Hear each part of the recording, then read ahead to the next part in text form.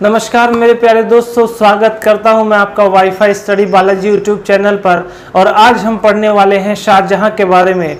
मेरे प्यारे दोस्तों, हँसते रहिए, मुस्कुराते रहिए, और देखते रहिए WiFi Balaji study YouTube channel अब चलिए दोस्तों, शुरू करते हैं आज का लेक्चर देखिए, आज हम पढ़ेंगे शाहजहां के बारे में, जो इसका टाइम पीरियड रहेगा, ये 1627 से लेके 1658 तक रहेगा। अब देखिए, इसके जन्म की अगर हम बात करें, इसका जन्म कब हुआ? 1592 में। कहाँ पर? लाहौर में। इसकी मदर का नाम था जोधाबाई या फिर जगत गोसाई। उसके बाद दोस्तों, इसके बचपन का नाम था खुर्रम। ये कई बार पेपर में पूछा जाता है कि शाहजहां के बचपन का नाम क्या था तो उसका नाम था खुर्रम। इसका जो टाइम पीरियड रहता है, ये स्थापत्य कला का स्वर्ण काल भी इसको कहा जाता है, क्योंकि इसने अपने टाइम पे बहुत सी बिल्डिंगों का निर्माण करवाया था। उसके बाद दोस्तों 1612 में इसका विवाह होता है। अर्जुमन बानो बेगम के साथ और इन्हीं को बोला जाता है मुमताज़ महल। इनको मुमताज़ महल के नाम से भी जाना जाता है और प्रसिद्ध नाम मुमताज़ महल ही है। मेरे प्यारे दोस्तों, इससे इनको सात संतानें होती है। इसमें से चार लड़के हैं इनके नाम जानना बहुत ज़रूरी है क्योंकि ये अब यही इनमें आगे चल के उत्तराधिकारी किया उत्तराधिकारी का युद्ध होगा कि कौन राजा बनेगा ये आपस में ही लड़ेंगे। और दोस्तों आ, सबसे बड़ा लड़का जो होता है उसका नाम है दारा सिको और इसको मिनी अकबर या छोटा अकबर भी कहा जाता है। क्यों? क्योंकि इसकी जो आदतें थी वो सारी की सारी किससे मिलती जुलती थी? अकबर से मिलती जुलती थी। उसके बाद जो दूसरा लड़का है, उसका नाम है औरंगज़ेब, और आप औरंगज़ेब जानते हैं कि यही आगे चल के क्या बनेगा? नेक्स्ट रूलर बनेगा। तीसरा लड़का है शाह सूजा, और यही शाह सूजा, इसका युद्ध भी होगा। और किसके सबसे पहला युद्ध जो है, उत्तराधिकारी का, यही लड़ना शुरू करेगा। और मुराद बख्श, ये चौथा लड़का है। अब देखिए दोस्तों 1631 की मैं बात करूँ तो चौदहवें बच्चे को जन्म देते हुए मृत्यु होती है किसकी? मुमताज़ महल की। और ये मुमताज़ महल आ, किस बच्चे को जन्म देते हुए मरती है? चौदवा जो बच्चा है बच्चा तो बच जाता है लेकिन माँ मर जाती है तो वो है मुराद बख्श। ये कई बार पेपर में पूछा जाता है। उसके बाद दोस्तों मुमताज़ महल जिस जिस साल मरती है इसकी मृत्यु होती है 1631 में। और ये शाहजहां से एक कहती है कि मेरे मरने के बाद जो मेरा मकबरा बनवाओगे, वो ऐसा बनवाना कि ना तो कभी किसी ने ऐसा बनवाया हो और ना कभी कोई ऐसा बनवा सके। जिसकी वजह से शाहजहां इस बात को बहुत सीरियस ले जाता है और 1631 में ही ये ताजमहल का निर्माण करवाना शुरू कर देता है। और दोस्तों, ताजमहल कहाँ पर बना है? आगरा में है और ये यमुना नदी के किनारे बसा हुआ है। उसके बाद देखिए दोस्तों ताजमहल में क्या क्या चीज़ों का इस्तेमाल हुआ? कौन उसका आर्किटेक्चर था? यह भी बहुत ज़्यादा पूछा जाता है। तो सफ़ेद संगमरमर जो कि राजस्थान के मकराना से मंगाया गया था, सफ़ेद संगमरमर और इसका जो मुख्य आर्किटेक्ट था, उसका नाम था उस्ताद अहमद लाहौरी। इसका मेन आर्किटेक्ट था। आर्किटेक्ट मतलब होता है जो उसने, वो जो बिल्डिंग डिज़ाइन करता है, उसको बोलते हैं आर्किटेक्ट उसके बाद जो मेन मिस्त्री था इसका उसका नाम था उस्ताद ईसा। और दोस्तों इसमें कला यूज़ हुई है कला पित्रा दुरा पित्रा दुरा जो है ये पर्शियन कला थी। ये कला क्यों आ, किस टाइप की कला होती है? पत्थर में पत्थर भरना। इसी को बोला जाता है पित्रा दुरा कला।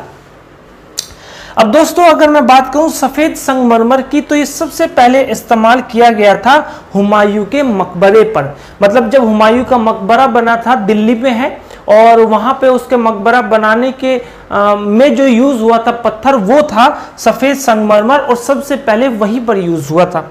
उसके बाद अगर बात करें पित्रा दुरा कला की तो फ़र्स्ट टाइम इसका यूज़ किसके मकबरे में? एतमादुद्दौला का जो मकबरा है उसको बनाने में इसका इस्तेमाल किया गया था। अब दोस्तों बात करेंगे 1636 की। इसमें क्या है? दक्कन अभियान पर जाता है। कौन? शाहजहां जाता है और वहाँ पे एक आदमी से मिलता है, जिसका नाम है मीर जुमला। अब ये मीर जुमला से मिलता है और मीर जुमला से ही इसको प्राप्त होता है कोहिनूर डायमंड। वहीं से इसको प्राप्त होता है। उसके बाद दोस्तों 1638 में यह अपनी राजधानी को बदल के आगरा से कहा कर देता है? दिल्ली में कर देता है। और 1638 में दिल्ली के यमुना नदी के किनारे ये शाहजहानाबाद शहर को बसवाता है। अब देखिए दोस्तों 1638 में ही ये दिल्ली में क्या बनवाता है? लाल किले का निर्माण करवाता है। और इसी लाल किले में दो दरबार हैं मतलब एक तरीके से दो बिल्डिंग थी। उनमें दो दरबार लगाए जाते थे, एक में लगता था दीवाने आम और एक में लगता था दीवाने खास। ये बहुत ज़्यादा पूछा जाता है, जो दीवाने आम था, ये तो आम लोगों के लिए था, लेकिन जो दीवाने खास था, ये वीआईपी, एक तरीके से जो वीआईपी लोग होते थे, उनके लिए था। और मेरे प्यारे दोस्तों, मैं आपको बताऊँ कि जो दीवाने खास है, इसमें एक इसने सिंहासन लगवाया था, जिसको बोला जाता है मयूर सिंहासन और इसी मयूर सिंहासन में इसने कोहिनूर डायमंड भी लगवाया था।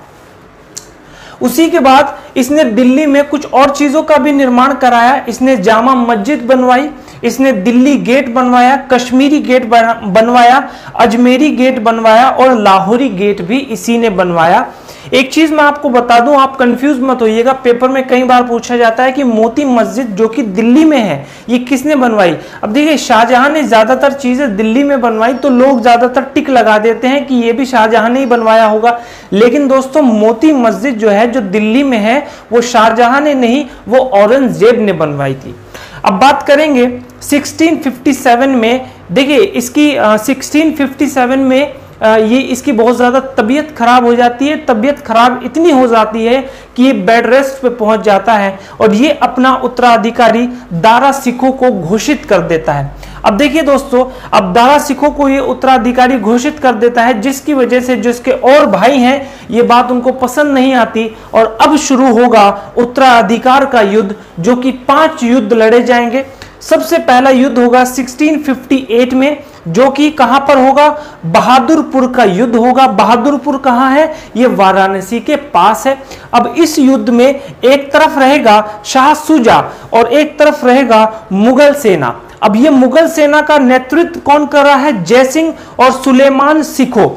ये दोनों इसका नेतृत्व कर रही है और इसमें मुगल सेना ही जीत जाएगी। तो ये था पहला युद्ध। अभी और भी युद्ध के बारे में बात करेंगे। इसका एक स्क्रीनशॉट लीजिए और बात बातें कुछ और बढ़ा। चलिए दोस्तों, बात करते हैं अब उत्तराधिकार का दूसरा युद्ध, जो कि लड़ा जाएगा 1658 में, और ये युद्ध कहलाएगा धर्मत का युद्ध। ये धर्मत का युद्ध कहाँ पे हुआ? मध्य प्रदेश में हुआ। और मेरे प्यारे दोस्तों, अब औरंगज़ेब जाता है किसके पास? मुराद बख्श के पास। और ये जाके कहता है कि ऐसा है कि हम मुगल सेना से अकेले नहीं जीत सकते। अगर हम अकेले अकेले अकेले करके लड़ेंगे तो हम नहीं जीत सकते। हमें हम हम दोनों भाइयों को एक साथ मिलकर लड़ना होगा और ये उसको आ, एक लालच देता है। ये इससे कहता है कि मैं तुम्हें एक तिहाई साम्राज्य मैं तुम्हें दे दूँगा और दो तिहाई मेरे पास रह जाएगा जिसकी वजह से मुराद बख्श तैयार हो जाता है और औरंगज़ेब और मुराद बख्श दोनों मिलके मुगल सेना पर आक्रमण करते हैं और इस बार मुगल सेना का जो नेतृत्व कर रहा है उसका नाम है जसवंत सिंह और कासिम खां। इसमें मुगल सेना इस बार हार जाती है और ये दोनों भाई जीत जाते हैं। अब दोस्तों, तीसरा जो युद्ध होगा वो 1658 में होगा। ये रहेगा सामूगढ़ का युद्ध। अब ये जो सामूगढ़ का युद्ध है, इसमें जो मुगल मुगल सेना है, उसकी तरफ़ से अब आने जा रहा है कौन? दारा सिखो। दारा सिखो वही है जिसको जो है शाहजहां ने अपना उत्तराधिकारी नियुक्त किया था। और इस बार दोनों भाई फिर से आएँगे, औरंगज़ेब और मुराद बख्श। लेकिन इस बार औरंगज़ेब, ये दोनों भाई मिलके दारा सिखों को हरा देंगे। दारा सिखो यहाँ से भाग जाता है और औरंगज़ेब मौका पाते ही मुराद बख्श को भी मार देता है। मतलब चार भाई थे, चार में से एक तो अब मर गया, एक यहाँ से भाग गया।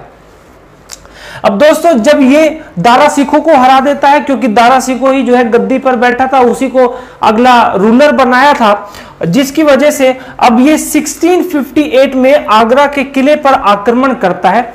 देखिए 1658 में जाता है, शाहजहां इसको बुलाता है और कहता है कि इसको अकेले बुलाता है और निहत्ते मिलने की बात करता है, जिसकी वजह से औरंगज़ेब अपने पिता से मिलने जाता है आगरा के किले में और ये निहत्ते जा रहा होता है, लेकिन ये जाते जाते बीच रास्ते में ही कुछ लोग इसके कान भर देते हैं और कहते हैं कि तुम अंदर जा तो रहे हो, लेकिन अब तुम ज़िंदा बाहर नहीं निकलोगे, क्योंकि शाहजहां ने तुम्हें मारने की प्लानिंग बनाई है, जिसकी वजह से औरंगज़ेब जाता जाता रुक जाता है और ये बीच रस्ते से ही वापस हो जाता है और ये आक्रमण कर देता है किले पर और वहीं पर कैद कर लेता है ये किसको? शाहजहां को।